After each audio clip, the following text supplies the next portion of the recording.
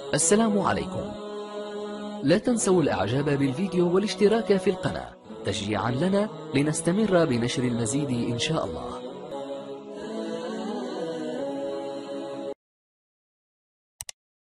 اللهم صل على سيدنا محمد وعلى آله وصحبه وسلم تسليما كثيرا. أيها الأحبة الكرام نجدد الترحاب بكم إلى هذا اللقاء. وموضوعنا الذي نريد أن نناقشه معكم اليوم هو قضية البركة وعلاقتها بغلاء الأسعار. تعلمون جميعا أيها الأحبة الكرام أن لا حديث للناس هذه الأيام سوى عن قلة المؤونة وغلاء الأسعار. وكل واحد ربما يذكر الأسباب والدواعي لهذه الظاهرة. منهم من يقول بأنها مرتبطة بارتفاع الأسعار العالمية وقلة المواد الأولية وغلائها وأيضا غلاء المحروقات ومخلفات الحرب الأوكرانية الروسية وأيضا مخلفات آه، جائحة الكورونا وظاهرة الوسطاء الوسطاء الذين كثروا ولم يجدوا ضوابط. أضف إلى ذلك منهم من يقول بأن الأزمة هي مرتبطة بالتضخم أن المغرب يعاني من التضخم وقد وصل إلى 8.2% وهي نسبة مقلقة يعني تحاليل اقتصادية آه، كثيرة ومتعددة. ومنهم من يقول إنها البرجوازية الشرسة التي تسن قوانين وتنهج اختيارات آه، من شأنها أن تغني الغني وتفقر الفقير كثير من السيناريوهات. نحن نريد أيها الأحباب الكرام أن نطرح سيناريو أهل الله. وسيناريو مستمد من القرآن والسنة والمقاصد العليا للشريعة وهو أن غلاء الأسعار ربما قد يكون بسبب رفع البركة لأن سر الوجود هناك حكومات في كل دولة هناك منتظم دولي وهناك حكومة دولية كبيرة سرية تنظم شؤون العالم ولكن فوق كل هذا وذاك وذاك هناك إرادة الله. وهناك الحكم المدبر له الحكم سبحانه وتعالى ويدبر الأمور جل جلاله. وربنا عز وجل أرشدنا في كتابه العزيز بأن هناك البركة. إذا سلبها الله تعالى صارت حياة الناس عذاب وطرحوا سيناريوهات كثيرة في التحليل وحقيقة الأمر أن الله سلب البركة. وإذا رأيت الرخاء والازدهار ورأيت التنمية ورأيت السعادة بين الناس اعلم بأن ربك قد أعطى ومنح هذه البركة. في كتابه العزيز جل جلاله يقول ولو أن أهل القرى آمنوا واتقوا لفتحنا عليهم بركات من السماء والأرض. فربنا يقول بأنه مجرد أن يكون هناك الإيمان والتقوى في قلوب الناس وأن يكون الرضا بالإيمان واليقين عهد على الله ووعد منه. أنه يفتح لنا البركات. ما معنى البركة؟ البركة يفسرها العلماء هي ثبوت الخير الإلهي في الشيء. ثبوت الخير الإلهي في الشيء. لأن الشيء قد يسلب منه الله تعالى البركة فلا خير فيه. ولكن قد يكون قليل ويضع فيه الله تعالى البركة فسيصير كثير. ربنا قال بركات. ولو أن أهل القرى آمنوا واتقوا لفتحنا عليهم بركات من السماء والأرض. بركات يعني من كل جانب من حيث لا تحتسب. الأرض تصعد خيراتها من بترول وغاز وفوسفات ومواد أولية كثيرة والسماء تمطر في إبانها على المناطق الفلاحية وخيرات لا تعد ولا تحصى. لفتحنا الفتح الرباني لفتحنا عليهم بركات من السماء والأرض. هذه الأزمة الاقتصادية التي يعاني منها الناس اليوم هي ليست حديثة ففي كل زمن هناك أزمات. حتى في التاريخ الإسلامي الأول كانت هناك أزمات. ولكن كان الناس يبحثون عن منطق التحليل الإسلامي لمواجهتها. نذكر على سبيل المثال في عهد الخليفة الراشد عمر بن عبد العزيز رضي الله عنه. وقعت أزمة كبيرة مثل هذه أزمة فيها غلاء الأسعار وقلة المؤونة والحكومة تورطت ولم تجد الحل المناسب للتعامل مع الوضع. سيدنا عمر بن عبد العزيز الخليفة الراشد جمع الوزراء وجمع المجلس الحكومي وجمع المستشارين وقال لهم أريد رأيكم. لأن عقلي فيه رأي واحد ولكن عقول شتى فيها آراء متعددة. أريد أن أسمع الرأي والرأي الآخر حتى أستطيع أن أكون مفهوم واضح للأزمة وعن أسبابها ودواعيها ثم ألتمس الحلول. فمعظم المحللين ذكروا ما ذكرناه من قبل تضخم غلاء مواد أولية ضعف المراقبة الاحتكار مسائل معروفة عند الناس الشراهة في في الشراء عند الناس عندهم الشراهة مجموعة أسباب. فقالوا ما هي الحلول؟ الحلول اتفقت على أننا ينبغي أن نزيد في الضرائب وأننا نزيد في كذا وندعم كذا. فسيدنا عمر بن عبد العزيز قال الشعب مهلوك ونزيدوا ضرائب أخرى ونغلوا الأسعار. أنا أريد حلول ويقول لهم إن الله تعالى لم يبعث محمدا جابيا وإنما بعثه هاديا. ليس دور محمد صلى الله عليه وسلم أن يجبي الضرائب ويملأ الخزائن. لقد بعثه الله هاديا. أريد هدايات. فأحد المستشارين كان معه رجل رباني من أهل الله كان آه، يغلب المنطق الإسلامي ومفهوم البركة عنده يؤمن به. قال يا سيدي إنني لما أقوم بجولة حول ظروف الناس أسمع الناس ماذا يقولون. فئة همها الأكبر هو جمع المال من أبناء الشعب. إذا التقى رجل مع رجل يقول له كم ربحت في هذا الأسبوع؟ كم ادخرت في هذا الشهر؟ كم بنيت من الدور؟ كم اقتنيت من الأراضي؟ والنساء لما يلتقين فيما بينهن يتكلمن كم اقتنيت من القماش؟ كم اشتريت من الذهب والفضة والحلي؟ هذا هو كلام الناس. وفي ثانية يقول كم تزوجت هذا العام؟ بمن عددت السنة المقبلة؟ ستعدد السنة المقبلة؟ من طلقت؟ الناس يتكلمون عن الزواج والمعاشرة والنكاح والطلاق وأروج يعني سوق رائجة. فقال إني أرى أن نغير منطق الشعب. الحل أننا نغير طريقة أسلوب الحياة عند أبناء الشعب. قال كيف ذلك؟ قال ينبغي أن نبت القيم الدينية في الناس. أولا نغرس في قلوبهم القناعة القناعة الرضا الرضا. يعني من أعظم الكنوز التي أعطاها الله تعالى هو الرضا. ارضى بما قسم الله لك تكن أغنى الناس. ثم القناعة بالقليل. ولا نتوسع في في اقتناء الأشياء لأن الذي يقتني الأشياء كثيرا إذا اشتهى شيئا اشتراه فإنه ينطبق عليه قوله تعالى أذهبتم طيباتكم في حياتكم الدنيا واستمتعتم بها. لا ينبغي أن كل ما اشتهيناه نقتنيه ونبت في الناس التقوى لأن ربنا عز وجل أمرنا بالتقوى. ومن يتق الله يجعل له مخرجا ويرزقه من حيث لا يحتسب. ثم نبت في الناس العبادات أن يؤدوها في وقتها ويكثروا من الاستغفار.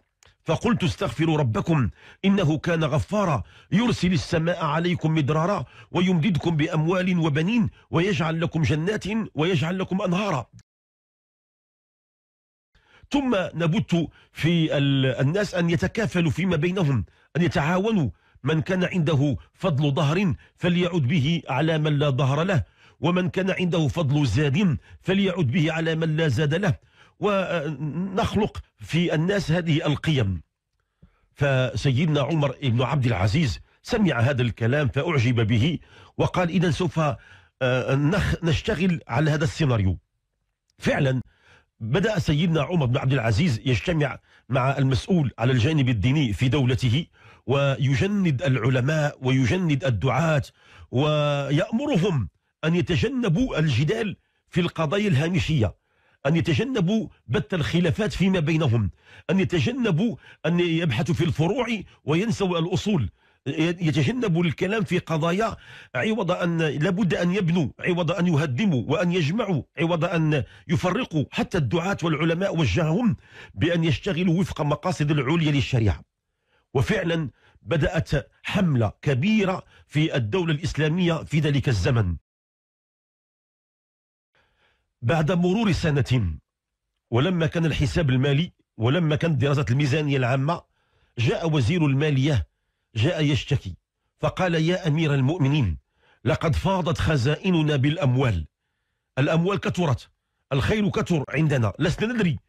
وهذا معنى قول الله تعالى ولو أن أهل القرى آمنوا واتقوا لفتحنا عليهم بركات من السماء والأرض. في تلك السنة جاء المطر في إبانه. وحينما تساقط المطر لم يسقط في الأماكن الغير المناسبة سقط في الأماكن الفلاحية بالضبط. ثم تم اكتشاف عدة معادن وخيرات الأرض من من من فلاحة ومن صيد بحري ومن خيرات كثيرة. والناس قلصوا من ال من ال الاشتراء. والناس تكافلوا فيما بينهم. والناس حاربوا الجشع والاحتكار والغلاء. والدولة سعرت المواد الغذائية الأساسية من طعام وشراب ومن أدوية ومن أعلاف قامت بدعم المواد الأساسية. سبحان الله بعد مرور سنة واحدة فقط جاء وزير المالية يشكو ويقول لقد فاضت خزائننا بالأموال. الخير كثير. فقال سيدنا عمر بن عبد العزيز هل أعطيتم لفقراء المسلمين؟ قال لي أعطيناهم حتى أعطوا الزكاة عن أنفسهم. كنا نذهب عند الفقراء نقول أيها الناس من يريد مالا؟ فيقولون نحن لا غرض لنا به. هذه زكاة أموال. يقول لا نأخذها.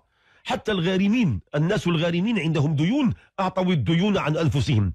فقال يا أمير المؤمنين لم يبقى في أرض الإسلام من فقير. أغنى الله الجميع. ما هناك ليس هناك غريم ولا مدين ولا هناك من يريد الزكاة. يذهبون إلى الأسواق والأماكن العامة والمساجد. من يريد الزكاة؟ الزكاة هي أوسخ الناس لا نرغب فيها. نحن كفانا الله أغنانا الله تعالى من فضله. فقال سيدنا عمر بن عبد العزيز وهل أعطيتم لفقراء اليهود والنصارى؟ لأن الدولة الإسلامية الأولى التي كانت ممتدة من جاكرتا إلى المحيط الأطلسي كان فيها عدة أقليات يهودية ونصرانية يعيشون في أمن وأمان وسلم وسلام. وكان سيدنا عمر يحتفظ بحقوقهم ويعمل على حفظ أمنهم. فسأل هؤلاء هل أعطيتموهم من, من مال المسلمين؟ ما كيستحقوا. فقال لقد أعطيناهم حتى أعطوا الزك الجزية عن أنفسهم. حتى الفقراء لأن مقابل أن المسلمين يعطون الزكاة فاليهود والنصارى من أهل الكتاب يعطون الجزية. وحتى فقراءهم اللي كانوا كياخذوا الجزية صاروا هم يعطون الجزية يعني أن أغنى الله الجميع. فقال سيدنا عمر بن عبد العزيز وهل أعطيتم للعبيد العبيد؟ لأن كان المجتمع الإسلامي الأول كان قديما كان فيه العبيد. حتى العبيد كانوا حتى مؤخرا في أمريكا في 1926 عاد قام الرئيس الأمريكي إبراهام لينكولن وألغى نظام العبودية. أمريكا دولة الحرية والديمقراطية وقائدة الدرك الدولي. ومع ذلك كان فيها إلى حدود 1926 يعني 100 سنة هذه كانت أمريكا فيها العبودية سائدة في ذلك العهد في عهد عمر بن عبد العزيز أنهى الله تعالى العبودية تقريبا في المجتمع الإسلامي. قال سيدنا عمر هل أعطيتم للعبيد؟ قال لي ما بقي في أرض الإسلام من من رقبة مملوكة. كانت هناك أسواق النخاسة. يباع فيها الرجال والنساء العبيد والجواري وغيرهم كما تباع البضائع. فكان الناس يشترون هؤلاء الرقاب ويطلقونهم في سبيل الله. قال لي ما بقي في أرض الإسلام من رقبة مملوكة. قال لي هل أعطيتم للشباب شباب المسلمين شباب العاطل؟ قال لي ما بقي في أرض الإسلام من عاطل لقد أعطينا الشباب ما يقضون به حوائجهم ويزوجون به أنفسهم ويربون به أبنائهم كان ذاك الزمان دار واحد مثل ما يسمى الآن عندنا بالمبادرة الوطنية للتنمية البشرية. هذه ليست حديثة هي مستنبطة أيضا من تراثنا الإسلامي الخالد. فأقام الشباب هناك قطاع في حكومة عمر بن عبد العزيز يهتم بالشباب لأنهم عماد الأمة. كلما كان الشباب في أريحية وكان عنده الرضا وكان عنده الإقبال. يعني أن الأمة بسلام الشباب صمام الأمان. ففعلا قال أعطيناهم. أعطى الشباب منح مالية ليقوموا بأعمال وتجارة وخدمات وحرف وصناعات وصاروا يكسبون. ومنهم من تزوج وأقام بيتا. الشباب لم يبقى يشعر بأنه مهمش وأنه معطل وأنه آه، كأن الحكومة لا تنتبه إليه. في ذلك الزمن ما بقي من شاب يحتاج. ثم قال وهل أعطيتم لمساجد الله؟ المساجد دور العبادة من من من آه، آه، بيع وصلوات وكنائس وغيرها. قال لي لقد جعلنا لها جعلا يكفيها السنوات ذوات العدد. كان أول من وضع الأوقاف في البيوت الله. هناك أوقاف كل مسجد في في محلات تجارية عنده أثرية بها آه، يتم أداء الأجور ديال ديال المستخدمين هناك الإمام والخطيب والواعظ والمنظفين والكهرباء والنظافة وغير ذلك. فكان المساجد وبيوت الله حتى حتى المعابد اليهودية والكنائس النصرانية جعل لها جعلا يكفيها السنوات ذوات العدد. فبقي سيدنا عمر بن عبد العزيز يسأل آه، وزيره في المالية شكون القطاع اللي باقي؟ مازال ما عندوش. فقال لي كل القطاعات الحمد لله كل شرائح المجتمع ربنا أغناها. قال لي دابا الآن أزمتي أي سيدي هذا المال فاض. ماذا أفعل به هذا المال؟ ماذا أفعل به؟ قال لي هذا المال اشتري به حبا وذره في الصحراء تأكل منه طير الله. اشتري مني حبا وهكذا ما فعل الوزير المالية انتدب وزير الفلاحة واشتروا حبوب كثيرة وصاروا يذهبون إلى الصحاري وإلى الخلاء وإلى الجبال ويرمونها لتأكل منها الطيور وتأكل الحشرات وتأكل السباع وتأكل النمور ويأكل الحيتان في قاع البحر الكل يأكل. سبحان الله في فترة زمنية قليلة جدا أغنى الله تعالى العباد. هنا أيها الأحباب الكرام نطرح السؤال يعني ما معنى هذا الكلام؟ هذه في النظريات الاقتصادية. كاين نظريات كثيرة. آدم سميث كيقول لك اليد الخفية هي تعمل عملها في النظام الرأسمالي والنظام الاشتراكي يقول لابد من أن نقيم وقفات واحتجاجات واننا أن الحقوق لا تعطى بل تنتزع بالقوة. لكن النظام الإسلامي يقول علينا ان ان, أن نعيد تربية المجتمع. نربي أنفسنا أجمعين. نربي على الإيمان وعلى اليقين وعلى الرضا وعلى القناعة وعلى التقليل من النفقات ونأمر التجار بأن يتجنبوا الاحتكار ويتجنبوا آه، رفع الأسعار. وأيضا نطلب من الحكومة أن أن تجتهد آه، العقول الكثيرة المتعددة. كلها ينبغي أن تتعاون من أجل إيجاد الحلول المناسبة ورؤية مستقبلية بعيدة. ثم آه، العلماء العلماء دورهم كبير. نلاحظ بأن دور العلماء صار في عصرنا هذا خافتا. للأسف ينبغي أن يكون عندهم دور عظيم. أولا يقوموا بدور بحل, بحل آه، رجال المطافئ يطفئون الفتن. ثم بعد ذلك يوقدون في النفوس شارة الإيمان واليقين والمحبة والتعاون والتضامن والتكافل. ثم الصلحاء من أبناء هذه الأمة يكثرون من الدعاء. كان سيدنا النبي صلى الله عليه وسلم في الأزمات يكثر من الدعاء ويطلب من الله البركة.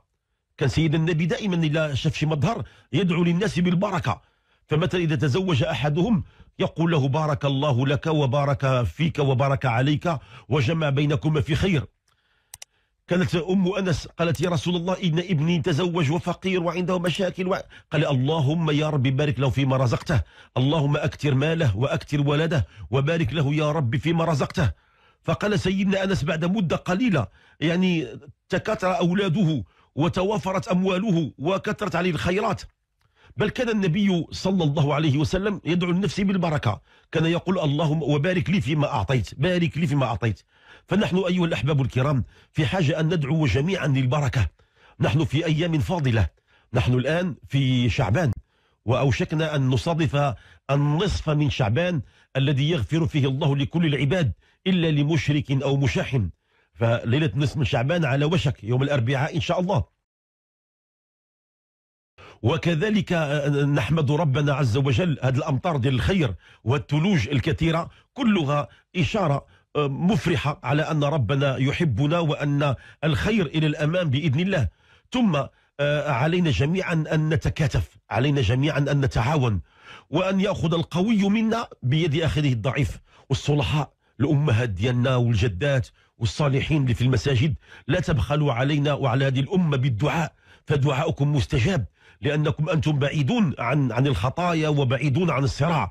أنتم مقبلون على الدار الآخرة وعندكم إيمان أقوى منا. ادعوا الله لنا كثيرا بالبركة والخيرات وإن شاء الله وبإذن الله وبفضل الله سيكون الخير إلى الأمام. فاللهم يا رب يا كريم بارك لنا فيما أعطيتنا. اللهم اجعل هذا البلد آمنا مطمئنا سخاء رخاء. وسائر بلاد المسلمين اجعله يا رب كما قلت بلدة طيبة ورب غفور. آمين آمين يا أرحم الراحمين. السلام عليكم. لا تنسوا الإعجاب بالفيديو والاشتراك في القناة. تشجيعا لنا لنستمر بنشر المزيد إن شاء الله.